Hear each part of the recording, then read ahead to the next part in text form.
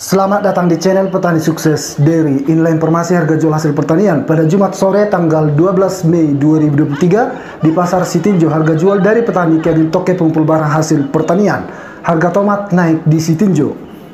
Buncis 4.000 per kilo, kentang kuning 6,5 dan 7.000 per kilo, jelok labu kuning 1.500 per kilo, jagung manis 2.000 per kilo, ada liman tuba 15 dan 20 per kilo, tiung terung Belanda 13.000 dan 15.000 per kilo. Markisa lokal kampung 10 dan 15 per kilo. Arcis 11.000 dan 12.000 per kilo. Apokat alpukat 5.000 dan 6.000 per kilo. Jeruk manis 10.000 dan 12.000 per kilo.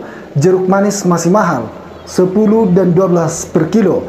Ya, jeruk yang dijual di pasar Sitinjo pada Jumat sore tadi sangat sedikit Pote PT Palia 15 dan 20 per 1 ikat, jagung pipil kering 5.200 per kilo, kulit manis yang kering 42.000 per kilo, timun mentimun 3.000 per kilo, dan sup 6.000 per kilo. Dari petani Kagentoke Pungpul dan sup, dan sup 10.000 per kilo. Dari pedagang pengecer Agentoke ke pedagang Aceh.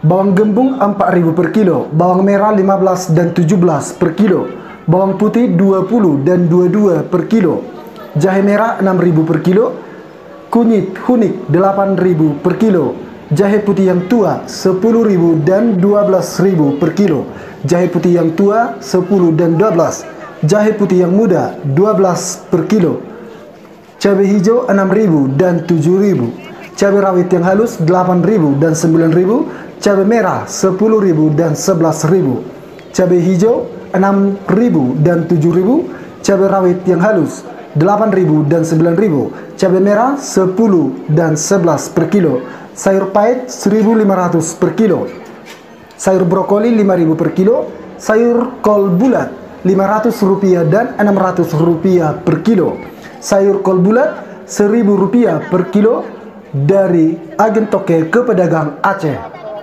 sayur tunas kol 3000 dan 4000 per kilo, sayur putih 700 rupiah per kilo, ubi kayu 1000 dan 1500 per kilo, ubi talas suhat 1000 per kilo, ubi jalar cong 3000 per kilo, ubi jalar Taiwan dan Jepang 3000 dan 4000 per kilo, ubi jalar yang ungu 4000 per kilo, terung boga 1000 dan 1500 per kilo, wortel satu setengah, kacang panjang 4000 per kilo, kopi robusta 28 dan 30 per kilo, kopi Arab Super 38 per kilo, bawang batak, bawang rambu 6.000 dan 8.000 per kilo, tomat super naik 6.000 per kilo dari petani ke agen toke pengumpul tomat.